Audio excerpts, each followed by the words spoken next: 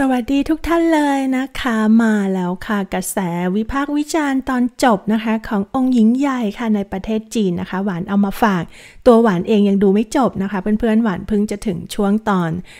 31-32 เองนะคะ คือบอกแล้วจังหวะเรื่องอะ่ะมันเดินไปเนิบเนิบค่ะ แต่บทมันก็ดูเหมือนจะมีความเข้มข้นดีนะ แต่มันก็เดินเรื่องแบบเนิบเนิบบอกไม่ถูก ดูแล้วมันไม่ค่อยแบบเดี๋ยวไปดูเรื่องอื่นก่อนแล้วเดี๋ยวค่อยกลับมาเก็บลบลวดอะไรเงี้ยได้เลยนะคะสำหรับองค์หญิงใหญ่ค่ะ ในจีนนะคะเสียงส่วนใหญ่ก็จะบอกว่าโอ้โหบทละครพังมากเลยนะคะ ส่วนสำหรับพระเอกนางเอกนั้นดีค่ะ คือเจ้าจินไม้กับคุณจางหลิงเหอนั้นก็หวานหวานดีนะคะ เดี๋ยวเรามาดูกันว่า คุณซุยเจียนะคะซุยเจียนักวิจารณ์ซีรีส์นะคะ เขาพูดว่าอย่างไรบ้างสำหรับในกรณีนี้นะคะเเธอก็บอกว่านะคะในช่วงที่พักชมเนี่ยซีซั่นสองของห้วงคำนึงดวงใจนิรันดร์นานนะคะ เธอก็หันมาดูองค์หญิงใหญ่ ซึ่งเป็นการปิดฉากไปแล้วนะคะก็สำหรับ V SVIP นั้นจบไปเรียบร้อยแล้วนะคะ เรียกได้ว่าปิดฉากด้วยความฮือหานะคะ จะว่ากันไปแล้วก็คือเนื้อเรื่องน่าตื่นเต้น เพราะว่าฉากสุดท้ายดำเนินไปด้วยความสุดขั้ว2 ประการด้วยกันค่ะ ลีลงแล้วก็เผยเวนเฉียนนั้นก็แต่งงานกันเป็นครั้งที่ 3 นะคะ อันนี้ก็เหมือนในนิยายต้นฉบับค่ะ พวกเขาก็สวมใส่ชุดแต่งงานสีแดงแล้วก็จูบกันหวานซึ้งเลยนะคะ ก็เป็นฉากหวานหวานชื่นดีนะคะ การเซ็นเซอร์ต่างๆ ของรายการนั้นก็ฉลาดมากก็ไม่ได้บอกว่าเป็นการเกิดใหม่นะคะ แต่ก็เหมือนกับ เบอร์เบอร์เอาไว้เป็นเหมือนเหมือนแบบความฝันอะไรแบบนี้ แล้วก็มีคำพูดที่ว่าข้าไม่รู้ว่าความฝันนั้นแบบ คืออยากจะตื่นจากความฝันเมื่อไหร่อะไรประมาณนี้ ซึ่งเพื่อเป็นการนะคะหลบเลี่ยงค่ะ หลบเลี่ยงกับการที่จะผิดกฎนะคะ ก็คือเขาไม่ให้เป็นในแนวของการเกิดใหม่ฟื้นคืนชีพอะไรแบบนั้นนะคะ อย่างไรก็ตามนะคะ บทอื่นๆ บทละครนั้นมีการดัดแปลงโครงเรื่องนะคะ ซึ่งทำให้นางเอกแล้วก็คู่ชายเนี่ยมันก็พังทลายลงจน จนทำให้คนดูเยาะเย้ยได้นั่นเอง ผู้ชมบางคนนะคะ ที่เคยอ่านนิวานิยายต้นฉบับนั้นถึงกับแสดงความคิดเห็นว่านี่ฉันเนี่ยทำอะไรผิดไปนะหรือฉันโชคร้ายมากเลยที่ได้มีโอกาสมาดูเรื่ององค์หญิงใหญ่โอ้โห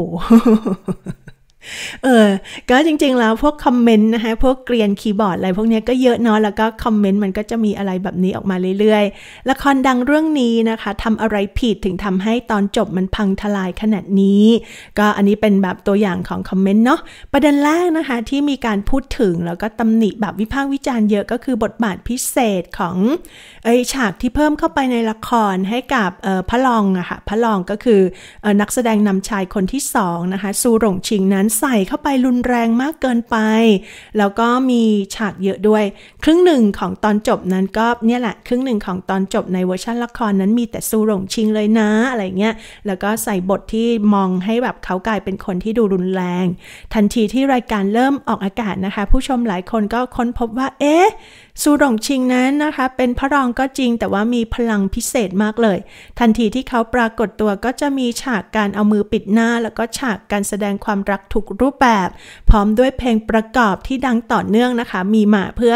ดันพระรองโดยเฉพาะเลยนะคะ แต่ฉากที่มีพระเอกนางเอกนั้นนะคะ เป็นสิ่งตรงข้ามกันเลยมักจะเงียบกริบสนิทเลย โดยที่ไม่มีเสียงเพลงไม่มีเอฟเฟกแม้แต่น้อยโอ้โหเอาละค่ะ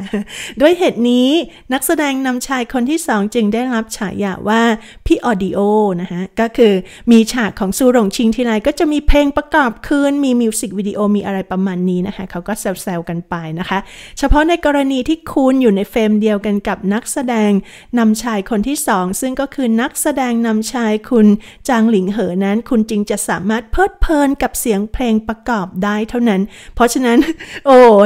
คืออคนดูนะคะเนติเซนจีนเขาก็แซวว่าเออถ้าขนาดฉากของพระเอกเนี่ยถ้าไม่ได้มายืน อยู่ในฉากเดียวกันกับพระรองเนี่ยพระเอกก็ไม่มีเพลงเช่นเดียวกันนะอะละ แม้ว่าจางหลิงเหอนั้นจะแสดงเป็นพระเอกก็ตาม แต่ว่านักวิ่งเนี่ยกับต้องการการยกย่องมาแบบฝ่ายผลิตยกย่องนักแสดงนำชายคนที่สองอย่างชัดเจนเลย ไม่เพียงแต่ฉากการแข่งขันสุดคลาสสิกระหว่าง พระเอกแล้วก็นางเอกนะคะที่ถูกลบออกไปอ๋ออันนี้ก็คือเอ้ยเข้าใจได้เนาะมันก็ในนิยายมันยาวไงเขาก็เลยไม่ได้เอาฉากตัวเอกนะคะ ฉากที่แบบพระเอกกับนางเอกต้องต้องได้กันอะไรเงี้ย เออฉากนวลเนียวอะนวลนวลเนียกันมีเยอะมากเลยนะ ในนิยายเพื่อนๆไปรออ่านกันและกัน เห็นว่ามีแปลเป็นภาษาไทยนะคะ แล้วทีนี้ก็ในเนื้อเรื่องเนี่ย ในเนื้อเรื่องนะคะ หลี่หลงที่เชิญซูหลงชิงให้มาเป็นสามีของนางครั้งที่สองก็ถูกเพิ่มเข้ามาอย่างจงใจ เช่นเดียวกันทีอย่างนี้คือไม่ตัดออกไปแล้ว แต่ฉากที่เข้าพระเข้านางกันระหว่างพระเอกนางเอกนั้นทำไมตัดไปนะคะซึ่งปล่อยให้หลีหลงนั้นลังเลนานเหลือเกินนะคะ ระหว่างจะเลือกใครดีระหว่างซูหลงชิง แล้วก็เผยเหวินเฉียนค่ะ สิ่งที่แย่ยิ่งไปกว่านั้นก็คือในงานต้นฉบับนั้นนิยายอะก็คือซูหลงชิงนั้นหนี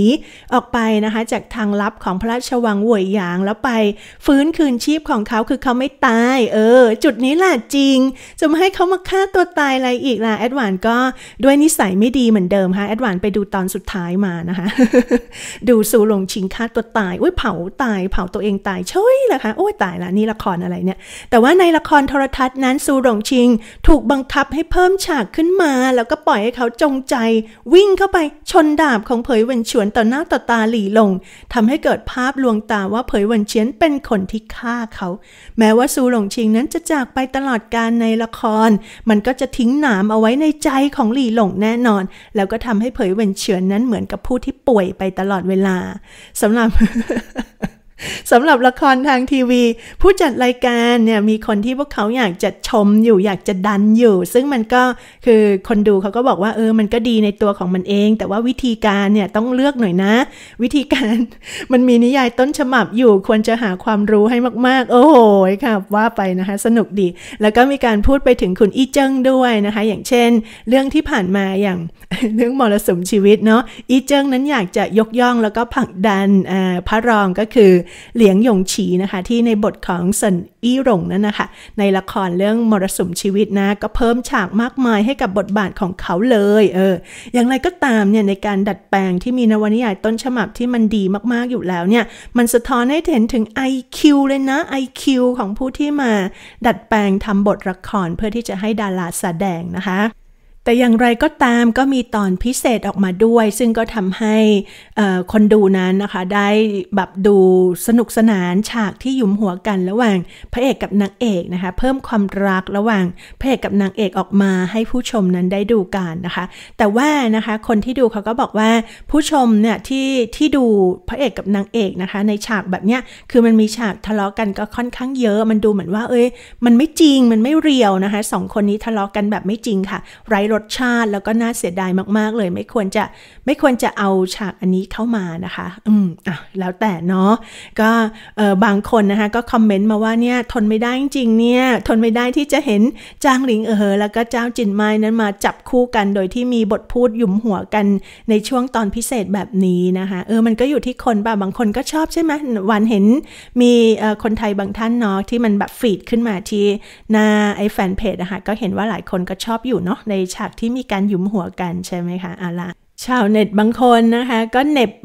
เน็บบทพระเอกว่าโอ้ยไม่ต้องเป็นพระเอกหรอกเนี่ย เพราะว่ามีพระเอกก็เหมือนมีนางสนมเท่านั้นพระเอกเหมือนเป็นแค่นางสนมของนางเอกนะคะเอาละแล้วก็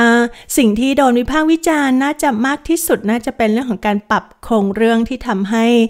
ตัวละครนางเอกนั้นมีความแบบล่มสลายไปนะคะอืมอันไหนมาดูกันซิว่าเขาพูดว่าอย่างไรบ้างนะคะ ก็จุดเด่นของเรื่องนี้นะคะ มันก็คือการที่องค์หญิงใหญ่ลีหลงนั้นยอมรับรับความปรารถนาในอำนาจของนางอย่างใจเย็นค่ะ คือนางก็เป็นผู้ที่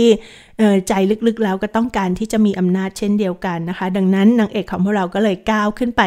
ในที่สุดสู่จุดสูงสุดทีละขั้นทีละขั้นนะคะ เพราะฉะนั้นเรื่องนี้จะเป็นเรื่องที่ไม่ใช่ว่านางเอกของพวกเรานั้นไม่คิด เรื่องของการที่จะได้อำนาจนะ เพียงแต่ว่าในชีวิตก่อนนะมันก็คือคนอื่นนะ ในตระกูลแบบสร้างกวนทางแม่ด้วยอะไรด้วย ก็สนับสนุนแต่ผู้ชายทั้งนั้นก็คือรัชทายาทหลี่ฉวนนะคะ ส่วนตัวนางเองนั้นสร้างขุมกำลังด้วยตัวเอง เช่นเดียวกันมีองคลักษ์มีหน่วยงานของตัวเอง เช่นเดียวกันแต่ว่าก็นั่นแหละด้วยการที่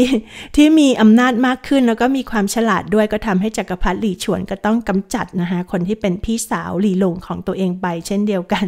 ทีนี้พอมาชาติใหม่แล้วนะคะ ก็มีเผยเวนเฉียนเนี่ยแหละค่ะที่แบบเออมองนางเอกขาดนะคะ จริงๆแล้วเผยเวนเฉียนฉลาดมากๆเลย แล้วก็ช่วยนางเอกของพวกเราทุกอย่างเพื่อจะให้ในที่สุดแล้วก็เป็นจักรพรรดินะคะหญิงคนแรกของตาเชียได้สำเร็จนั่นเองนะคะ แต่ก็เหมือนกับว่านะคะ การตัดจบหรือการตัดต่ออะไรเนี่ยมันเป็นไปอย่างกระทันหันในช่วงสุดท้ายทุกอย่างเลยนะคะ เพราะฉะนั้น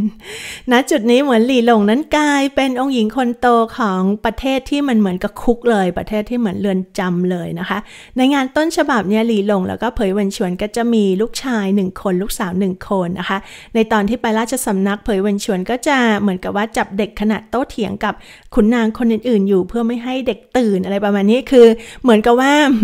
อย่าเสียงดังอย่าอะไรนะ เพราะว่าเดี๋ยวลูกๆเขาจะตื่นหรืออะไรแบบนี้นะคะ ซึ่งอย่างเหล่าบรรดาขุนนางคนอื่นๆ ก็จะต้องแบบเออคิดว่าเขานั้นปรับทัศนคติแบบให้อ่อนลงแล้วก็แบบ คือมันมันจะตลกตรงที่ครอบครัวสำคัญที่สุด ครอบครัวสำคัญนะคะ ถ้าจะทำงานก็ต้องแบบเออไปทำแบบไกลๆหน่อยอะไรอย่างเงี้ยค่ะ แล้วก็หลังจากที่รีฉวนนะคะแซงทำเป็นอยู่อย่างสันโดษเป็นเวลาหลายปีแล้วนะคะ เขาก็ค่อยสละราชบัลลังก์ให้กับหลีหลงโดยตรงเลย แล้วหลีหลงก็ขึ้นครองบัลลังก์โดยสมบูรณ์ แล้วก็กลายเป็นนะคะจักรพรรดิจักรพรรดิหญิงคนแรกของตาเชีย แล้วความตลกมันก็จะอยู่ตรงนี้ด้วยนะคะ คือถ้าหวานจำไม่ผิดเนี่ยลูกของสองคนเนี่ยเป็นลูกแฝดค่ะ ได้ผู้หญิงคนหนึ่งผู้ชายคนหนึ่ง ทีนี้ก็ถึงเวลาที่จะต้องตั้งรัชทายาทนะคะ ซึ่ง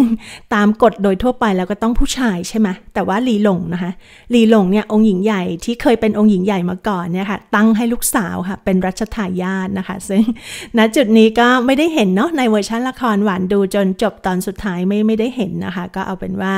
อืมก็อาจจะไม่ไม่ไม่กล้าถ่ายทำณจุดนั้นหรือถ่ายทำแล้วแต่ว่าไม่กล้าออนแอร์หรือเปล่า เพราะยังไงผู้ชายก็ยังคงดูเหมือนว่าจะมีจะมีความเชื่อ ที่แบบต้องเป็นใหญ่เป็นโตมากกว่า แล้วถ้ามีลูกหญิงลูกชายนะ พร้อม ๆ กัน ก็ควรที่จะให้ลูกชายอะไรอย่างนี้หรือไม่นะคะ สมัยก่อนเลยด้วยซ้ำเนี่ยถึงแม้ว่าจะมีองค์หญิงคนโตเนี่ยก็ไม่ตั้งให้เป็นราชทายาทเนาะต้องรอให้มีองค์ชายซะก่อนอะไรประมาณนี้นะคะ แต่ว่าสำหรับหลีหลงของพวกเราไม่อย่างนั้นค่ะอ๋อฉันตั้งให้ลูกสาวของฉันเป็นรัชทายาทนะคะ แต่ไม่เห็นฉากนี้ในละครนะคะ เดี๋ยวเพื่อนๆมาฟังหวานแล้วก็เอ๊ะไม่เห็นมีเลยแอดหวานแอดหวานเล่าอะไรก็เล่าในนิยายให้ฟัง เออ ตื่นตื่นนะคะ เอาล่ะสำหรับเรื่องนี้ก็ถือได้ว่าจบไปแล้วก็ดูแบบชิลๆถ้าเกิดว่าเพื่อนๆ ไม่เคยรู้เรื่องของนวนิยายต้นฉบับมาก่อนหวานว่ามันก็เป็นละครเรื่องหนึ่งซึ่งก็ดูได้เพลินๆนะคะ ดาราก็มีความหน้าตาดีแล้วก็บทก็มีความแบบน่ารักแล้วก็มีความกุ๊กกิ๊กแล้วก็มีปมเรื่องที่มันเออโอเคมันมันเป็นเกมของการแย่งชิงอำนาจอะไรแบบนี้นะคะ ส่วนสำหรับผู้ที่ดูแบบเคยอ่านนิยายต้นฉบับมาอย่างหวานเนี่ยอ่านจนจบหมดแล้วนะคะสำหรับเรื่องนี้หวานว่าสร้างได้อีกขออีกเวอร์ชันหนึ่งขอขอให้สร้างเป็นซีรีส์อีกสักครั้งหนึ่งนะคะ ขอให้แบบว่ามีฉากไฮไลท์มาจากในนิยายต้นฉบับ แล้วก็อย่าไปเปลี่ยนในในบทบาทของซูหลงชิงเลยนะคะ เพราะว่าทุกคนที่มีโอกาสได้กลับ app. มากับชาติมาฟื้นคืนชีพเนี่ยทุกคนมีมีปมเป็นของตัวเอง ซึ่งโดนบีบบังคับทั้งนั้นเลย แล้วก็เป็นเหมือนกับสวรรค์ให้โอกาสอีกครั้งหนึ่งให้กับพวกเขานั้นนะคะได้ได้มีโอกาสรอดนะคะ ก็เน้นอีกทีว่าในนิยายต้นฉบับซูหลงชิงนั้นรอดนะคะ เพราะว่าลีลงเปิดทางรอดให้อยู่แล้วค่ะเขาก็เลยลงไปที่ทางลับนะคะทางลับของพระราชวังแล้วก็ออกไปได้ แต่ว่าก็แน่นอนว่าก็ไม่ได้อยู่ในเมืองหลวงนะคะ หัวจริงอีกต่อไปแล้วเขาก็ต้องออกไปอยู่ข้างนอกแต่เขาก็ยังคงมีชีวิตอยู่นะคะ เอาละค่ะ นี่ก็เป็นทั้งหมดของ episode นี้นะคะ มีความสุขกันมาก ๆ หวานลาไปก่อนนะ สวัสดีค่ะ